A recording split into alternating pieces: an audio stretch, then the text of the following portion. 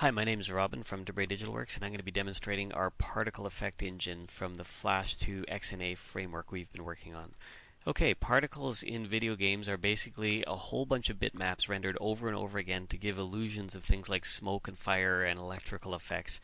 And uh, we're actually doing our particles obviously in Flash. Um, these are just um, you know simple particles, and they're they're vector files as you can see.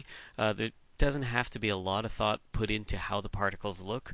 We're doing four of them here. They automatically, if you specify four particles, it'll actually automatically segment these particles into um, into four textures.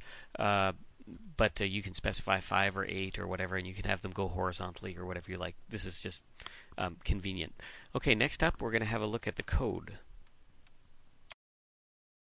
Okay, here we are in Visual Studio, and as you can see, um, we're in the, the level 3 screen class, which is the actual game screen.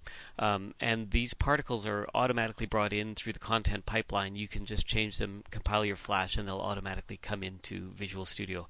And you can see here we're going to use particle 0. If you look at the Flash file, that's actually this one with the star and the rectangle and triangle and so forth.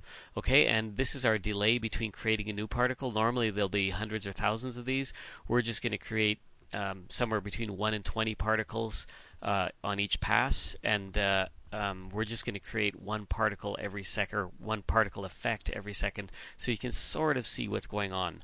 Okay, if we run this, um, we're gonna we're gonna get into the game. This is just a kind of a temporary game framework we're, we're using for testing. We're actually making a game out of this, but it's become somewhat of a test file recently. Okay, when I press the Y key on the controller, that starts dropping particles. And as you can see, they're fairly large, but you can sort of see the, the yellow um, triangle or whatever it is. And actually, I'm not 100% sure what's what, but you can sort of see the different shapes here. Um, and uh, um, what we're going to do now is we're going to actually add a breakpoint in uh, C sharp here, and we're going to change the particle we're using. Let's change it to particle 2. Okay, and this is an awesome thing about Visual Studio. You can just stop, change code, run it again, and it'll run. Just have a look at particle 2. That's this one with the squigglies and the um, colorful stuff. So let's run that again. We'll come back into our game, and now you can see that the particle is kind of those squigglies, and they're rotating and vibrating just like they did in the other particle effect. But um, and they're a little bit larger obviously because they were a little bit longer. So let's change that too. Let's go back into Visual Studio here and we'll set a breakpoint on our actual star particle here and we'll look for where it's setting the size. I believe that's right here. So we'll stop there and we'll say instead of this is just an easing equation. We'll get into that in a bit. Um, instead of going eight, uh, you know, zero to eight times bigger, let's just go zero to three times bigger. If we hit F5 here, we're back, and now you can see it's still vibrating and it's still the same textures, but they're much smaller than they were. Okay, let's make one more change here. We'll go back in, set a breakpoint uh, here, and instead of creating a particle every thousand milliseconds, let's create one every 15 milliseconds. So there'll be a whole bunch of particles made, and it'll leave more of a trail. Okay, here we are. We got the guy glowing, and as you can see, there's actually quite a trail here uh, when when the guy runs by things and runs into things. All right, so um, that's basically how particle effects work. Um, I'm still really sucked at this game, but uh, next we'll look take a little bit of a closer look at the code in the game.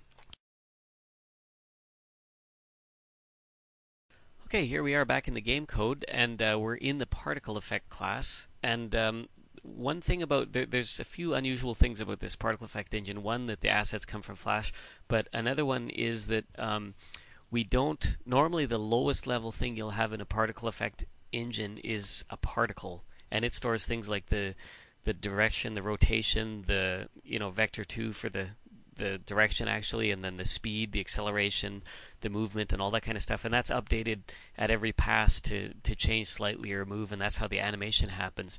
And normally the way you create that is you say okay you know, I'm going to make a thousand particles, so I loop from zero to a thousand, and I'm going to give each particle a random rotation, uh, you know, in in radians. So it's going to be, you know, give me a random number between zero and one, multiply that by two pi, and that's the direction you're you're moving. You know, give me a random number between zero and one, multiply it by the the distance out from the center I want these particles and you know the maximum distance and that's going to be your distance and you kind of do that over and over the alpha give me a random alpha number between 0 and 50% or something and it's always give me a random number and do something with it so instead of storing all that in a class which you know when you start getting hundreds of thousands of particles or 100 or 200,000, I guess hundreds hundreds of thousands would be a little much, but um, that starts to really add up. There's a lot of floats and vector 2s stored there, and then there's a lot of them. So um, what I tried to do on this one was to not actually have any particles, but instead store a random seed. And this seed is actually, um, if you look at, if you've looked at random number generators before, if you start with the same seed, you'll always get the same random numbers. So if I start of a seed of at a seed of uh, say 10,000, the fifth random number will always be the same. So I reset the seed to 1,000, the fifth one's the same. Reset it again, fifth one's the same. So get next, get next, get next fifth one's the same. So that's the idea on this. Random numbers are super fast to generate, and they're actually even faster if you use uh, this random. Uh, it's called Fast Random by uh, Colin Green, and it's basically a .NET version of a really fast random number algorithm, and the other much faster than Math.random. And the other important thing about this is this. Um, it allows you to reset the random seed uh, without penalty. Basically, with Math Random, it's a fairly slow process. You got to basically delete and recreate it. Whereas here, you can just reset the number and it'll go back and generate real clean random numbers again. So, highly recommended. Take a look at this library. Even using it in your own game code for something completely different, it is massively faster than Math Random, and uh, you have full control over the source if you want to do things like um, I'm saving the state. So if I have a seed of you know 10,000 and I generate 500 random numbers, maybe next time I want to start from 500 and generate the next ones, or first one's 0 to 1000, second one's 500 to 1000, I can save the state super easily in this because I have the source code. So basically that's how that works.